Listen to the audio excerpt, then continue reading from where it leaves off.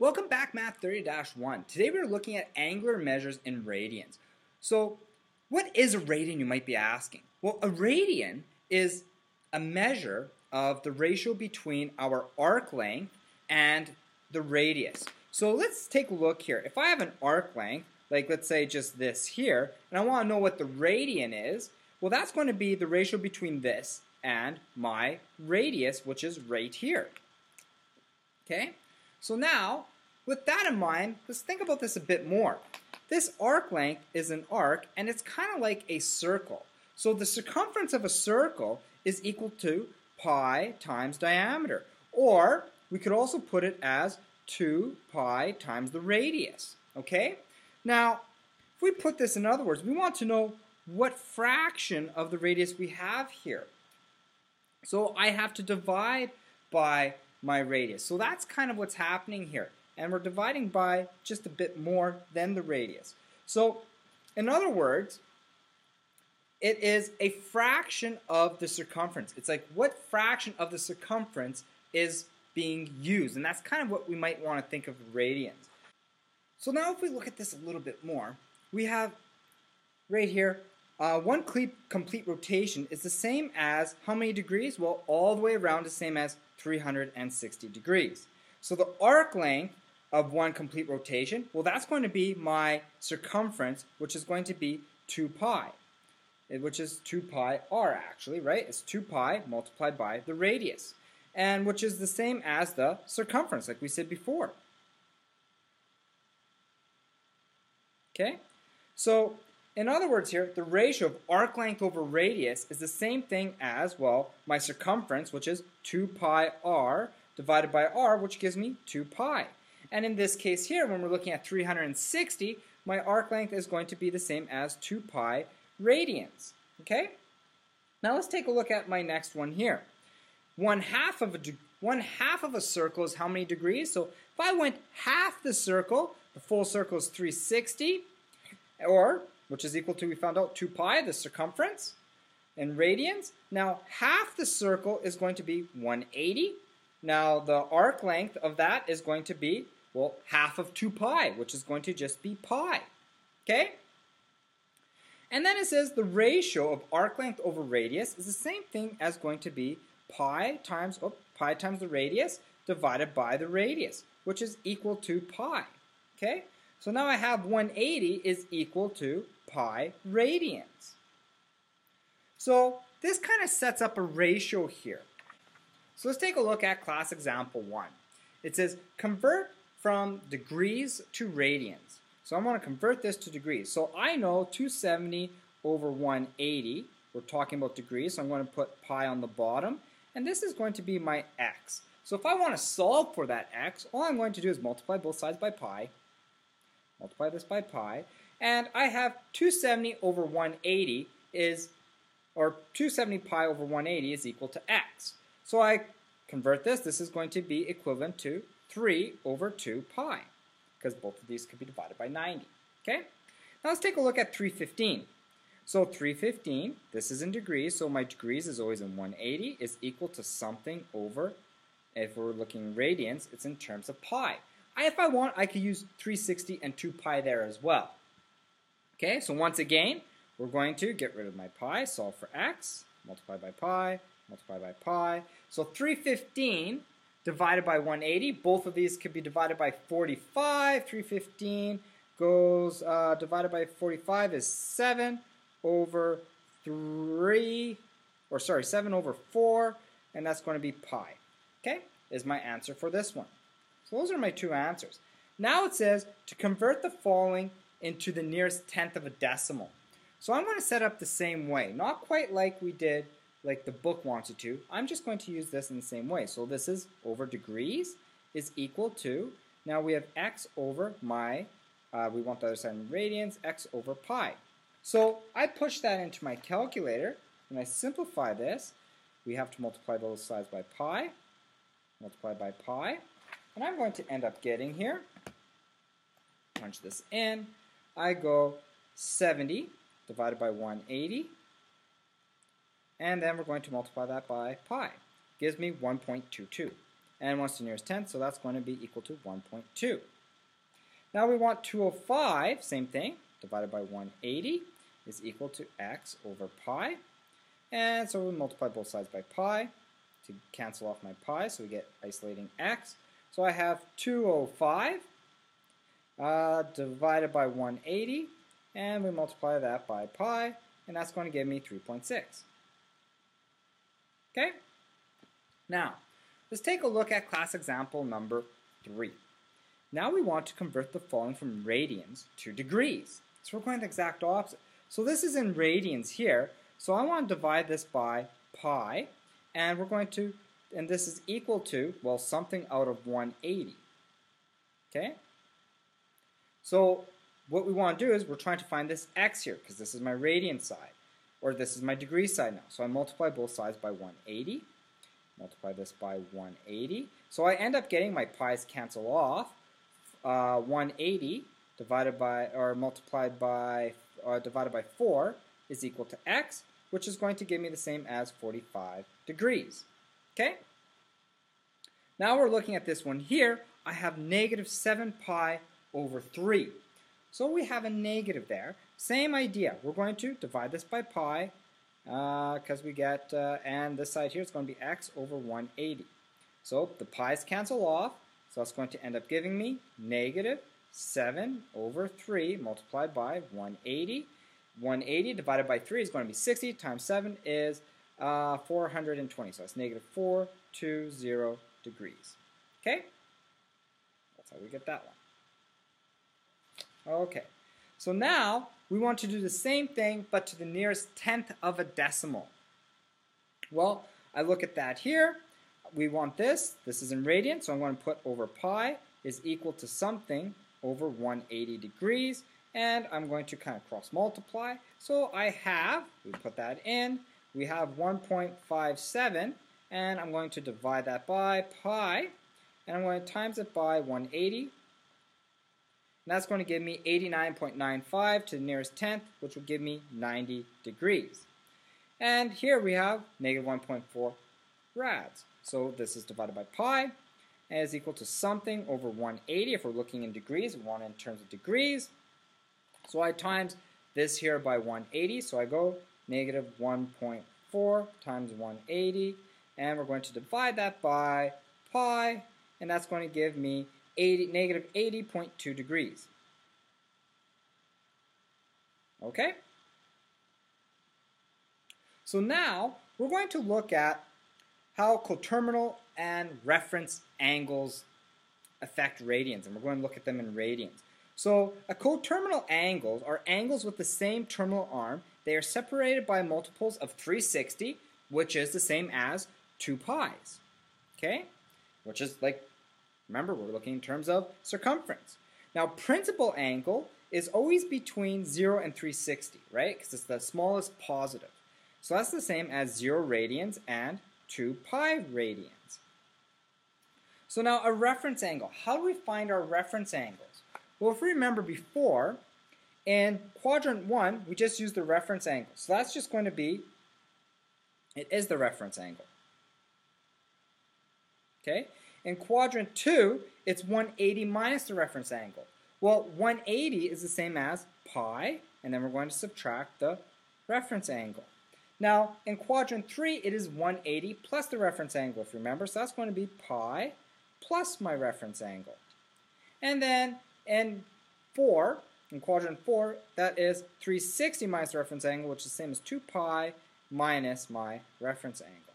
So now we're going to get into some examples of how that works. So let's take a look here at question number 5. So first it says in each of the following, draw the angle in standard position. So let's draw the angle in A in standard position? Well, if I look at this, this is 0. We know this is pi. This is the same as 2 pi. Well, half of pi from 0 to pi, half of it is going to be pi over 2. And now if we go another half here, so pi plus a half is going to be the same as 3 pi over 2. So looking at that, it wants to know where is 3 pi over 4? Well, 3 pi over 4 is going to be in here. So there's one. One is done. Because pi over 3 pi over 4 is in between pi over 2 and pi. Now let's take a look at number 2. It says state the principal angle. Well, 3 pi over 4 is greater than 0 and between 2 pi, so my principal angle is just going to be 3 pi over 4. Let's take a look at number 3. It says determine one positive and one negative coterminal angle. So I'm going to take 3 pi over 4 and I'm going to add 2 pi to find one coterminal angle that's positive which is the same as, this is going to be 8 over 4, which gives me uh, 11 pi over 4. Now, another, so here's one, another one is going to be, I could have 3 pi over 4, and I want to subtract 2 pi. Okay? Now I look at that, that's going to give me negative 5 pi over 8.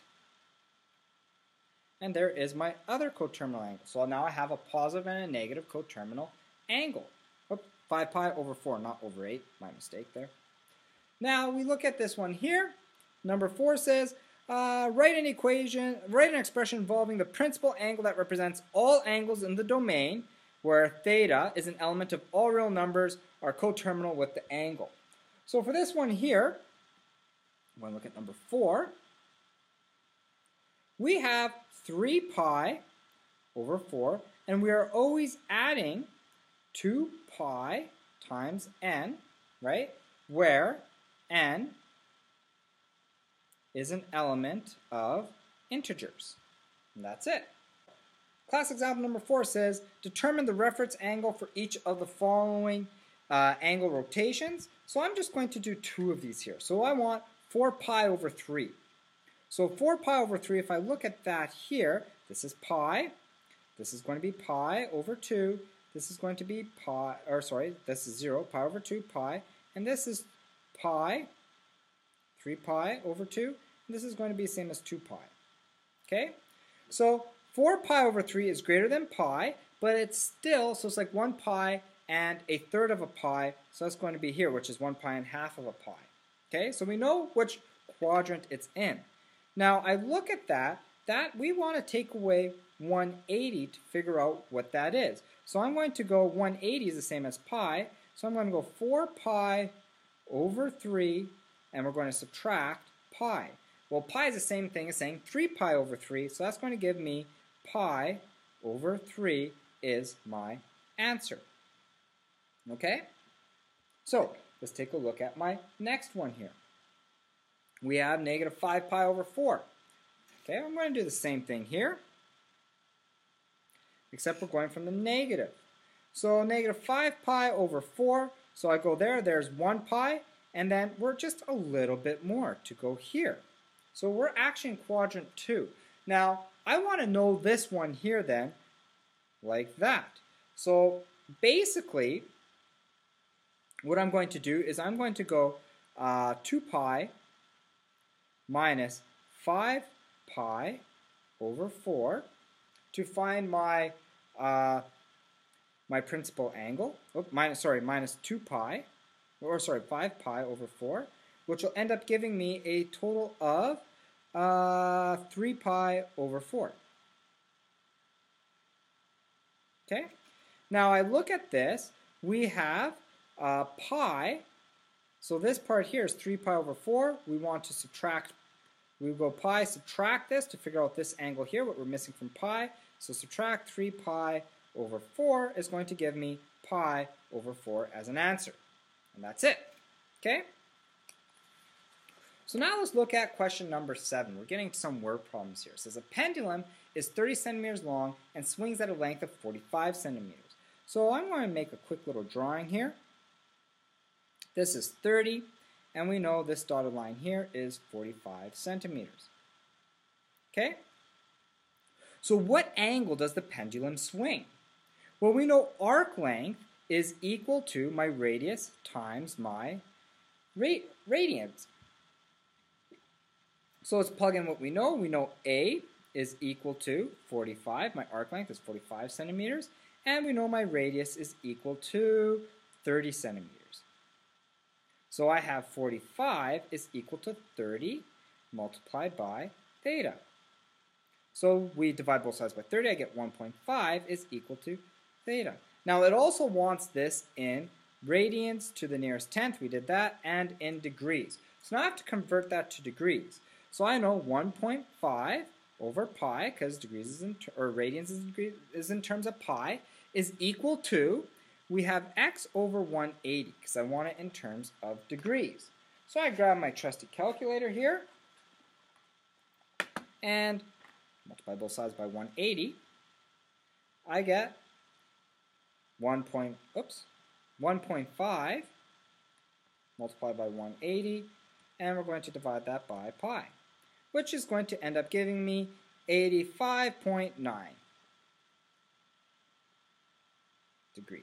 So these here are my two answers. Okay? So let's take a look at question number 8. It says calculate the arc length to the nearest tenth of a meter of a sector of a circle with a diameter of 9.2 meters. And the sector angle is 150. So we have a section of a circle here.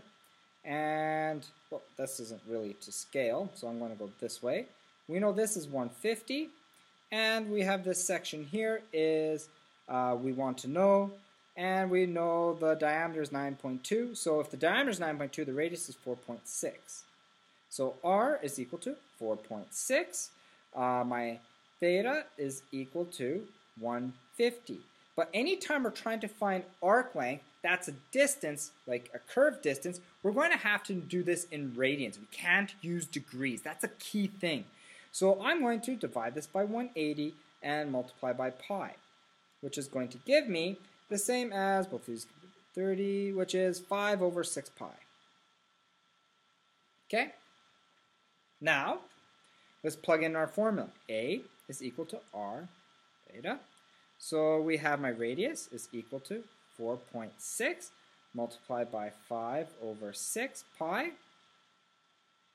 I multiply this together, I'm going to get 12 meters is going to be my distance. And to the nearest tenth, it's 12.0 actually. Okay? All right. So, number 9 says, a circle with a center C and a minor arc AB is 15.2 is shown. So, angle ABC, so ABC is pi over 6. And then my angle CAB is pi over 6 or BAC is pi over 6. Find the length of the radius of the circle. So I want to find this radius. So first of all, I have to find this angle C here. So how do I find angle C? Well, we know all angles in a triangle add up to 180. Now, in terms of radians, 180 is the same as pi. So I know A, angle A plus angle B plus angle C is equal to pi. So in other words, we have pi over 6 plus pi over 6 plus c is equal to pi. Now we rearrange that. I'm going to end up getting, uh, here we go, we're going to get pi, and we're going to subtract. Pi over 6 plus pi over 6 is pi over 3. And that's going to be angle C. So then angle C is actually equal to 2 pi over 3. So now I know my theta. Okay, so let's take a look at this here. I have theta is equal to 2 pi over 3, and we know my arc is equal to 15.2. So we go A is equal to my radius times theta. And we're going to plug in A, so we have 15.2 is equal to my radius times 2 pi over 3, or 2 over 3 pi, and we divide that, so that's going to be, move this here, so it's 3 over 2 pi. This cancels off, so we're just trying to find what r is. r is equal to, put this quickly in my calculator, so I'm going to have uh, 3 times 15.2, and I'm going to divide that by 2, and divide that by pi, and I'm going to get 7.25 is my answer, so 7.3. And that is in centimeters.